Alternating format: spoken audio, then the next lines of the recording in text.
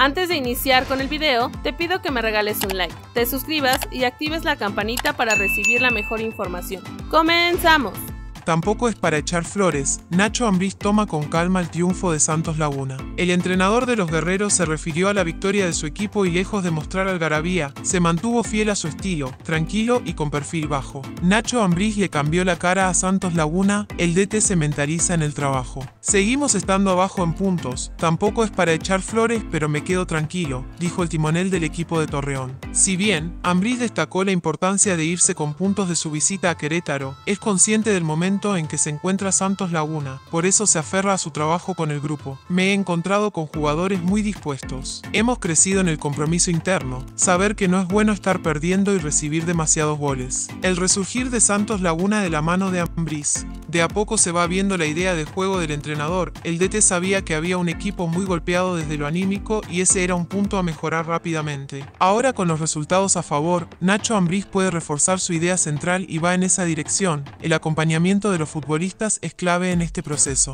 Los resultados no llegan solos, hay que buscarlos y esa ha sido la premisa del entrenador desde su llegada a Santos Laguna. Ha cambiado la realidad, pero como dice el propio Nacho Ambriz, aún están muy bajos en la clasificación y la competencia se empieza a poner más exigente. Al lograr revertir esta situación, el entrenador destacó que se enfocó en recuperarse mentalmente, era un abatido. El equipo se está un poco mentalmente lastimado, pero yo los invité a que disfrutemos. Nos acompañan dos resultados que nos permiten tomar confianza. Es aire puro, dijo Nacho Ambriz luego de la victoria ante Querétaro. Lo que se le viene a Santos Laguna en el clausura 2024. La jornada 10 quedó atrás para Santos Laguna. Ahora debe enfocarse en la segunda mitad del clausura 2024. Con la victoria ante Gallos Blancos, los guerreros suman 10 unidades y por el momento no alcanzan a estar en puestos de clasificación, necesitan seguir por este camino. En la jornada 11 se medirán ante Cruz Azul en condición de local. Luego de ese encuentro, deberá jugar dos duelos como visitante ante Solos y Juárez. En la jornada 14 recibirá al América en lo que puede ser un partido clave para la clasificación. Por último,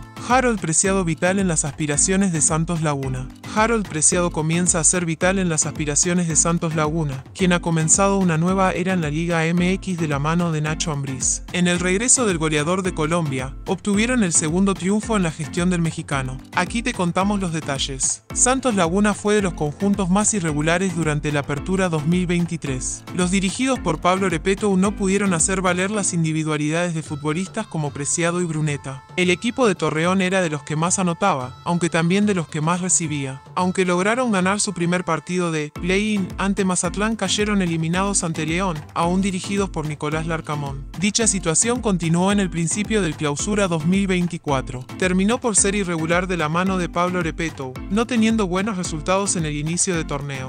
Harold tuvo una lesión que lo dejó alejado de las canchas. Un aliciente en la entidad del TSM Corona fue la salida del estratega Charrúa, dando el voto de confianza a Nacho Ambriz. Un aliciente fue la salida de Juan Bruneta, quien fue su mejor hombre. De igual modo, se hablaba de una posible salida de Harold Preciado a los Rayados de Monterrey, aunque la directiva de Torreón mencionó que el costo era de 12.5 millones de dólares. En este caso, la directiva de Rayados decidió no insistir más, ni buscar bajar el precio o un trueque y simplemente dieron por cerrado el tema y se quedaron con las ganas de tener al vigente campeón de goleo. Un día después de la derrota ante Tigres, el equipo de Torreón lanzó un comunicado sobre la salida de Repeto. Les informamos que ha concluido la etapa de Pablo Repeto y su técnico al frente del primer equipo de Santos Laguna, a quienes agradecemos la entrega y dedicación demostrada a lo largo de este tiempo. De la misma forma, les deseamos el mayor de los éxitos en el futuro, postearon.